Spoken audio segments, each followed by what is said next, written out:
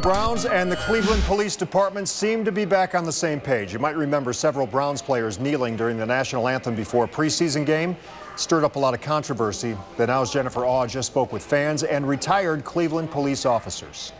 Well, Rob, I reached out to the Cleveland Police Department. The department confirmed with me that 20 officers, 5 EMT, and 5 firefighters will be participating during on-field pregame ceremonies for opening day this Sunday.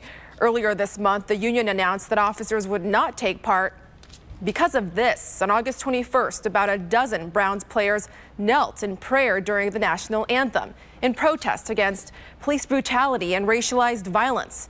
Now, the fans I spoke with are still divided by this issue.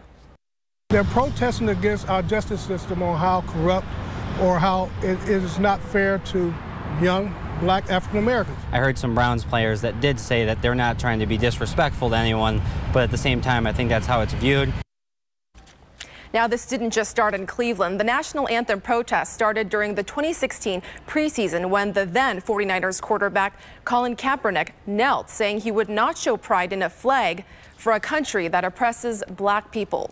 In the studio, I'm Jennifer Auh, reporting for The Now.